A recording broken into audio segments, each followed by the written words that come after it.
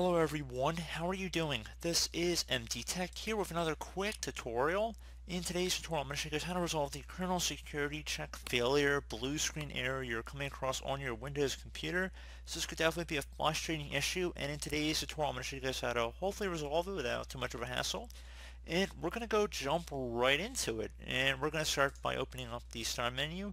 Just left click on the start button one time, type in device manager, Best match should come back with device manager here. Go ahead and left click on that.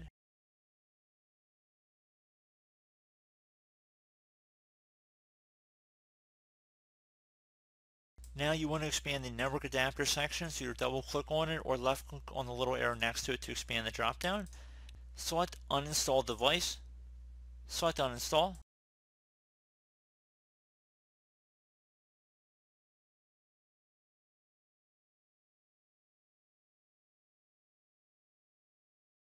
And you want to also expand display adapters here. Right under here, you want to right click on whatever display adapter is, select uninstall device, select uninstall.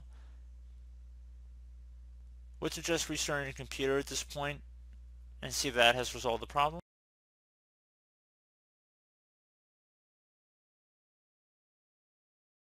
It should automatically re-download the network driver as well as the display driver once you restart your computer. Okay, so once we are back on our desktop, we want to go open up the start menu. So just go ahead and left click on the start button one time. Type in CMD.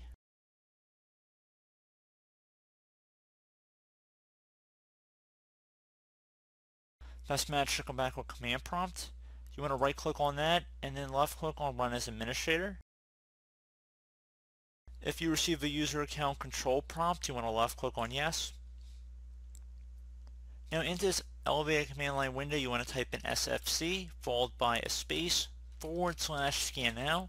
Scan now should be one word attached to that forward slash out front. Hit enter on your keyboard to run this command.